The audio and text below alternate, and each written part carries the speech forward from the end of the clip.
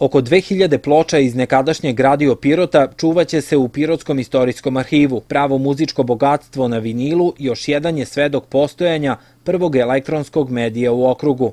Tu je negde oko 2000 LP ploča i onih popularnih singlica i mislim da je vrlo važno što su i, što i ova građa, što su i ove ploče našle svoje mesto u našem arhivu, eto kao um, neko bogatstvo, jedna zbirka velika koja će moći da služi eto i našim sugrađanima, istraživačima kojih nešto interesuje u vezi sa muzikom iz različitih perioda uh, i iz različitih žanrova.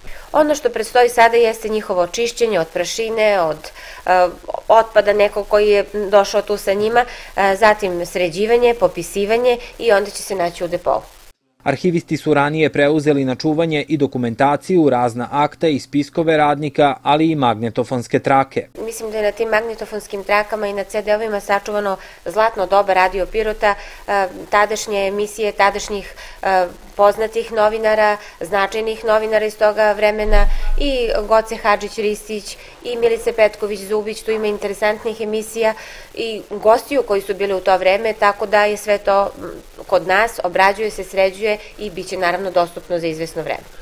Radio Pirot je sa emitovanjem programa počeo 1978. godine. Odbornici Pirotske skupštine su na sednici 19. februara 2016. godine posle neuspešne privatizacije doneli odluku o ukidanju i likvidaciji javnog preduzeća Radio Pirot koji je prestao da emituje program posle 38 godina.